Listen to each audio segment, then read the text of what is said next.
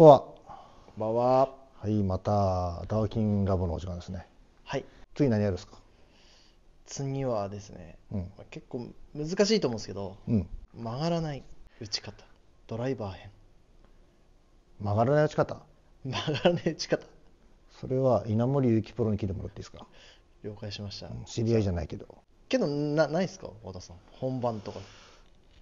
コース行った時とか。あるっちゃあるっすよ。でも基本僕、あの、逃げるの嫌なんで、はい。あんま使わないんですけど、あるっちゃあるんですよ。あ、ありますか？もう、ほぼ曲がらない方法。距離は？落ちる。それは落ちまあ、す。落ちます。それはしょうがない。飛ぶ人は曲がる。曲がらない人は飛ばないっていうのはまあセオリーだけど、まあ、いるよ、飛んで曲がらない人いるけど、はいなかなかそんなね点は二物を与えないんでもうその代わりほぼ、まあ、絶対と言っていいほど OB はなくなるし7割ぐらいの感じでフェアウェイ方面には飛んでいくっていうはい。方法はあるっちゃあるんですよあんま僕使わないですけどねあそれを知りたいですね。やるっすか？ただねはい確かにアマチュアの方はこういうのいいかもねちょちょっとだけでもね難しいんですよはい。小細工感はあるんですか？小細工感はあるけど、はいでも実はアプローチとかにも使えるんではい。いいかも、あ、はい。うんで球がなるべく上がってしまうとその滞空時間が長いわけだから、はい。まあ、曲がる幅も大きくなった OB とかに行くわけだからまず滞空時間を短くしてフェアウェイに早く着地させる方法なんですけど、まあ、絶対条件が短くもそうですあはい。しかも尋常じゃないぐらいもうほとんど親指右手の親指シャフト握っていいぐらいいいぐらいもうグリップのもう一番グリップがあの短いところはい。これぐらい短く持つ、はい。うんこれ一つあとは T ちょっとだけ低め、はい。うん、でここから大事なんですけどバックスイングしてバカーンってこういかにも僕今からアッパーで飛ばしますよみたいな動かし方するんじゃなくてなるべくこのヘッドを上に上げたくないんですよ。打った後になるべく地面をなぞるように。イメージですよあくまでも。はい。なぞる。自分の体の回転とともに左に向いていく。イメージ。こんな感じです。あ、もう、フィニッシュがそんな感じですか？そう。だからおへそとか目が一向に上に行かないんですよ。もう常に地面をなぞっていく。目もへそもヘッドも。だからまあコンパスのような。はい。自分コンパスになったつもりでここに線を描くような感じです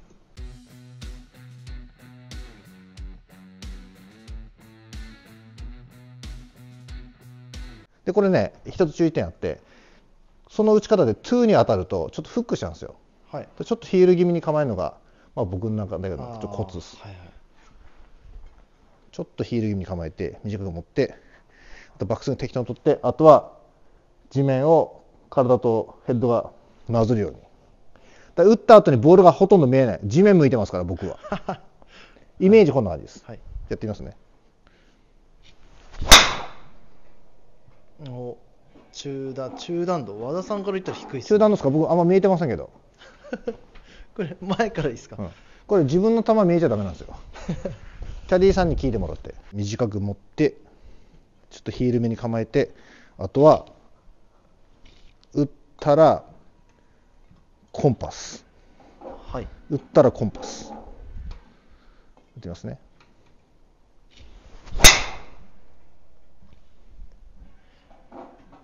ここしか見えてません、あ低かったっすよ。まあそう言ってるでしょ多分、はい。うん、ちょっとかっこ悪いんですけどこんな感じでいいんですか？かっこ悪いですね。だこれはね前回配信した腰痛持ちの方、はい。背中のアーチが作れない人はこれで飛ばしましょうみたいな。こうなってしまうから飛びませんよって言ってるんだけど、もう話が矛盾したような話になっちゃうわけですよ。うんうんうん。腰痛になるとこういう力ができるんで。あまあ曲がらないけれども、曲がらなくなるんですよ腰痛の方は。はい。これ余計な動きできなくなるから、もう一方向しか動かなくなるから。はい、曲げたくないんだったら腰痛になればいいし。腰痛になればいい。腰痛になればこの動きできるから。今僕腰痛持ちなんで今腰痛、昨日ちょっと筋トレでぎっくり腰なんで今この動きやりやすいんですよ、うんうんうん。なので左右が OB もうめちゃくちゃ狭くて左右ちょっとでも曲がったら OB で縦の距離が短い。パ350ヤードのパー4みたいなアイアンで刻むこともできるけどでもドライバーでなるべく近くまで行っときたいって方はこの打法短く持って少しヒール目に構えてコンパス打法。目標はなるべく見えないぐらいやると。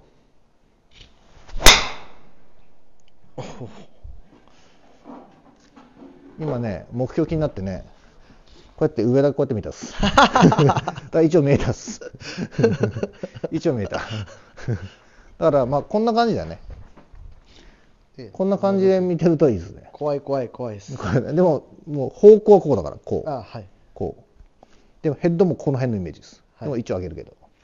っていう打法どうですか。飛ばしたければこの打ち方ダメです。はい。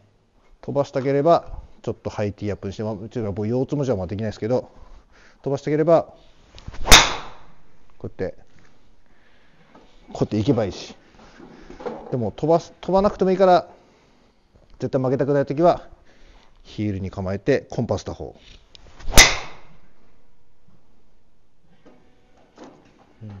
だからもうはっきり言って腰よりも上半身と頭前に来てます。こんぐらい。はい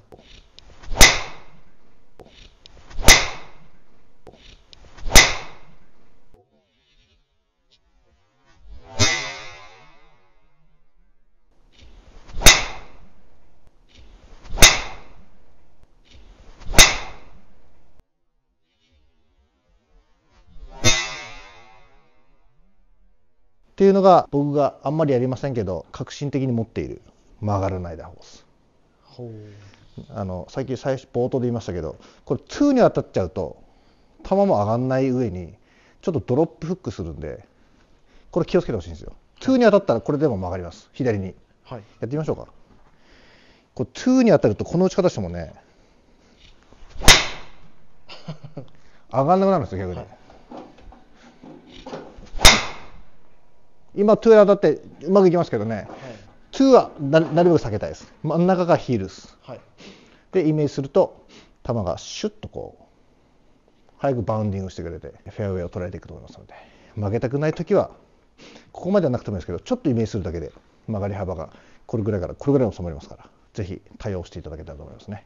ありがとうございます。これちょっと練習場で練習してからやってくださいね。あまあ多分そう10球グラフトになれるんで。はい。はい。ためになりました？はいあと練習します僕ぜひやってみましょうかはいえやるんすか？やりましょう。はい、急に小小先にやらせるっていう。しかも、フッカーだからさ、これちょっと気をつけてよ。はいちょっと素振りしてみて。だいぶ短く持って、で、イメージはコンパス打法です。そうそうですねアドレスの形のままフィニッシュまでいくような感じだから。そう。ちょっとヒール目に置いてくださいね。はい2はダメですよ。はい特にフッカーは。じゃあ行きますはい。おおうまくいったやんそうそうそう。いいんじゃないですか？そうそうそう。これもう一発打ったら本当に信憑性あるわ。2ダメよ。おおいいじゃん。そうそうそうそどうですか？う。かっこ悪いかってないかっこ悪いけどできるね。あ分かった。僕だけできてなんか いやいや配信したんだけどみんな難しくできないわって言われるの嫌だったから意外とできましたできるね。はいじゃあそういう感じで曲げたくない時これやってくださいね。はい。ありがとうございました